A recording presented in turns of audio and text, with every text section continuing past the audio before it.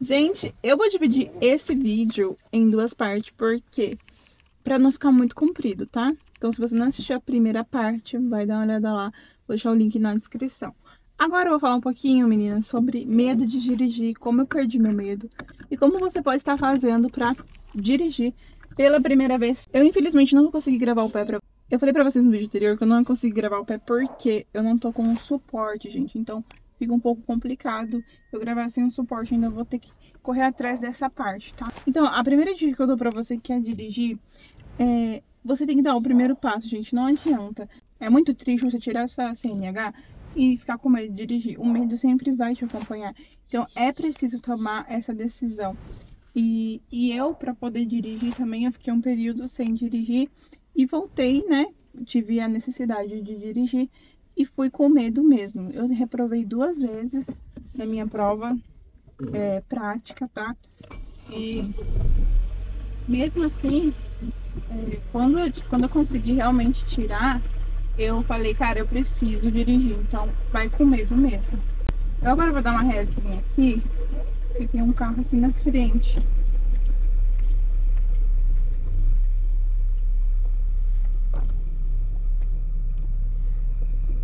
Dá um aqui. Eu sempre. As pessoas falam, não olha pra trás, mas é porque eu tenho medo de eu não ter enxergado alguma coisa. Eu sei que não é certo, tá? Olhar pra trás, mas eu olho. Mas essa mania eu vou parar, gente. Prometo pra vocês que eu vou parar. Eu vou tentar dar uma volta ali, pra você, né? Vou tentar dar uma...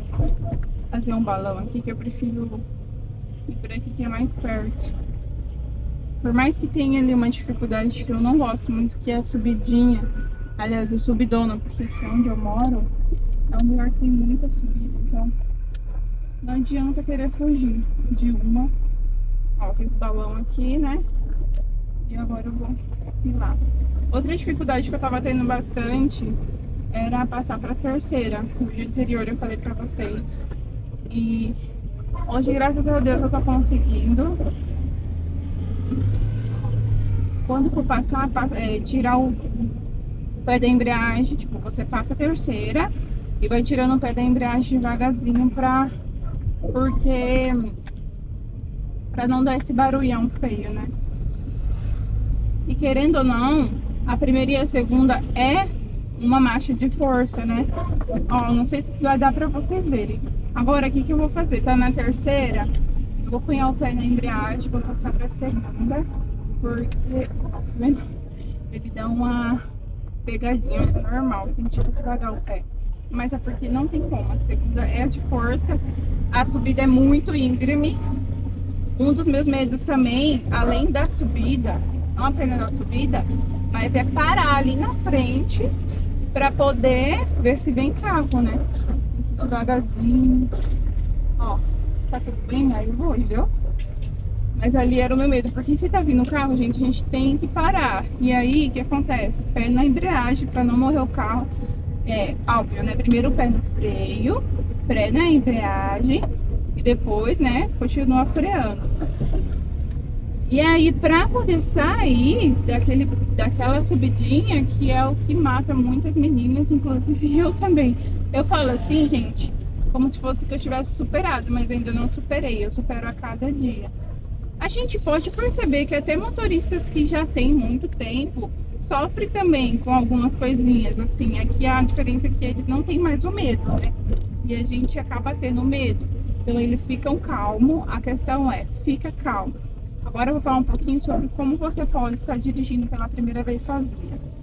É, eu fiz um vídeo lá no TikTok falando sobre isso no Instagram também e deu bastante visualização porque é algo que realmente as meninas têm dificuldade de dirigir pela primeira vez sozinha. Então, o que eu posso estar falando para vocês? Primeiramente, vocês vão ter que é, decidir qual vai ser o trajeto de vocês. Para onde vocês vão?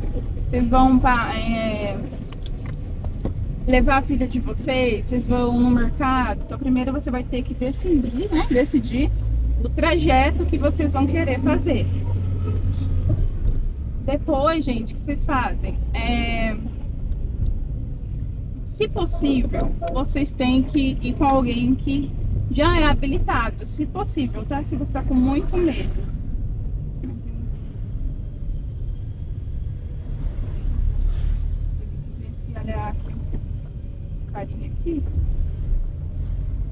Se possível, ir com alguém habilitado, alguém que tem mais experiência e alguém que não vai te deixar mais nervosa, tá? Porque não adianta, gente, vocês ir com uma pessoa que vocês vão ficar nervosos. Por exemplo, o marido de vocês. Eu, eu confesso para vocês que eu tinha um pouco de medo de sair com meu esposo, porque é, sei lá, uma pressão psicológica. O homem não tem paciência, tá? O homem não tem muita paciência, não. sei como de vocês sejam uma pessoa bem paciente. Eles não têm muita paciência. Então, se for a mãe ou alguém que já é habilitado, uma amiga, chama ela para ir com vocês e, e vai que vai, amigas. Tem que, tem que ter esse primeiro passo. Ah, mas eu tenho medo. Mas se não for, como você vai fazer? Olha, vem um carro ali, mas Vou colocar a primeira. Eu parei. Aí. O segredo de não fazer aquele barulhão é a embreagem, tá? Mais pra frente eu vou trazer vídeo gravando o pé, tá? É que infelizmente não deu. Agora, outra coisa que vocês têm que ver, a próxima dica para vocês. É, não se preocupa tanto com as pessoas, gente. Por que eu falo isso? Porque assim, você vai ser, você é recém-habilitada, então é óbvio que você vai ter muitas dificuldades, você vai ter bastante erros. Então, que se dane as pessoas, elas vão ter que aceitar. O momento delas já foi, entendeu? Agora é seu momento de você aprender. Não adianta achar que todo mundo já nasceu sabendo, ninguém nasce sabendo as coisas. Então, realmente, você tem que ter isso na sua cabeça. Não fique pensando nas pessoas, o que as pessoas vão pensar de você. Que se dane, isso é pelo seu próprio bem.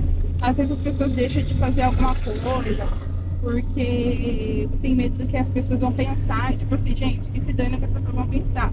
Se o carro morreu, nem olha pro retrovisor de trás, nem olha, eu dou a dica pra vocês, nem olha pra esse. Porque se você ficar olhando pra ele, você vai ver a pessoa atrás de você e você vai ficar super nervosa. Então, tipo assim, morreu o carro, se concentra no, no que você tá fazendo, entendeu? Desliga, não, se o carro morreu, né? Você liga de novo, coloca a primeira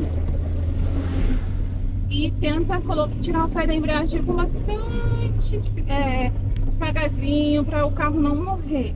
Por que o carro morre? Porque você tira com tudo o pé da embreagem. Então ele acaba perdendo a força e vai e morre. Então, lembra disso. Morreu o carro, esquece tudo ao seu redor, preste atenção naquilo que você está fazendo e que se dane os outros, entendeu? Outras pessoas que se dane.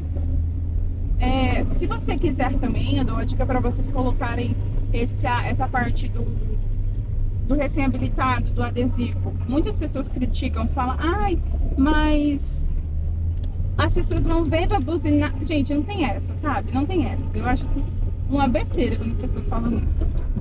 Ó, vou aqui, ó. Uma besteira total. Põe um adesivo. Por que, que eu falo pra pôr um adesivo? Porque pelo menos você tá falando, ó, gente, ó. Eu sou uma recém-habilitada. Que nem o carro bateu atrás de mim. Ele viu que eu era uma recém-habilitada. Ele teve que pagar certinho, nem discutiu, nem nada, entendeu? Então, a gente é bom uma plaquinha por isso, tá avisando ali que você é uma recém-habilitada, que você tem dificuldades, o carro morre, né, normal. Então, é legal a plaquinha por isso. Então, eu não me arrependo de colocar a plaquinha. Agora, a questão tá sendo, tira ou não tira a plaquinha? Porque é tão assim bom, sério. Você vai falar, ó, tô fazendo essas, esses erros, né, porque eu sou uma recém-habilitada. Então, por favor, tenha paciência. Eu já penso dessa forma, sabe? E muitas meninas no TikTok falam a mesma coisa. Que quando colocou a plaquinha, é, é bom sim. É bom colocar a plaquinha, gente. É bom colocar a plaquinha para deixar bem claro. Se acontecer qualquer coisa, já dá bem avisado. Já falo assim já. Já tá bem avisado já. Eu sou recém-habilitada. E essa fase vai passar. E a gente vai aprender com os nossos erros. Mas enquanto isso, que, que o povo tenha paciência com a gente. E se não tiver problema deles, porque Sinceramente, eu não tô um pouco me deixando esse povo. Dá vergonha? Dá, mas já cheguei numa fase minha que, tipo assim, é isso aí. Essa é a minha fase que eu tô passando, tenha paciência, por favor. É só você tomar cuidado e devagarzinho, entendeu? Não tem muito erro. A questão de dirigir é essa, ó. cuidado. Agora vai ter o farol ali, vou falar pra vocês. O que eu fazia antes e que eu não faço mais. Quando parava o farol, eu ficava meio desesperada que eu tinha medo do farol abrir e os outros ficavam usando atrás. É que eu fazia? Eu pegava e já aqui colocava a primeira. Hoje eu já não faço mais isso. Quando para o farol, eu deixo no neutro. Eu fico com o meu pé no freio. Tem gente que põe o pé ao freio de mão, mas eu não coloco, eu ponho só no freio. E quando estiver abrindo ali, eu coloco a primeira. Fico de olho, né? Atenta. Pé perto aqui da embreagem. Quando abrir o farol, eu coloco na primeira. Porque dizem que desgasta. Eu não pode, porque meu, meu instrutor me ensinou assim. Morreu, é, parou, coloca na primeira. E isso não, não pode, gente. Não pode. Ele falou, eu acho que era para mim não esquecer, né? E eu acabei levando isso para minha vida agora aqui fora, é, já habilitada. Ah, morreu. Tá vendo? Falando vocês, morreu o carro. Ó, que nem eu falei, ó. Vou ligar. Colocar a primeira, o povo tá buzinando lá. Mas tô nem aí. Eu só liguei habilitado. Se ficar me perturbando, eu fico mais nervosa ainda nem aí pra eles, gente. Sinceramente. Nem aí.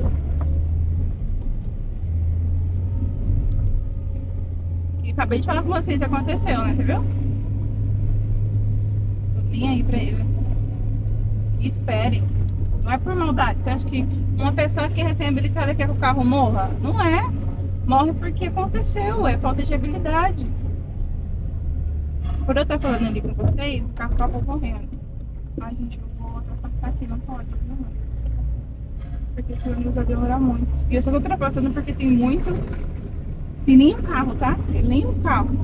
Mas o bom não é fazer isso, tá? Mas quando eu vi que não tinha nenhum, nenhum, nenhum, eu fui. Porque eu não vou, gente. Eu sempre espero ficar atrás do ônibus até ir. Até ele, até ele aparecer. O que, que eu vou fazer? Eu vou ter que parar ali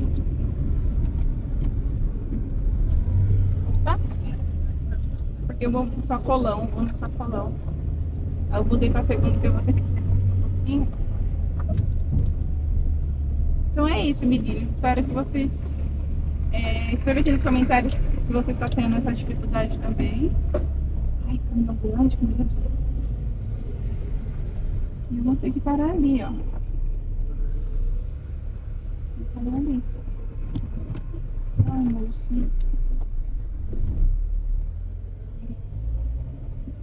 bem aqui.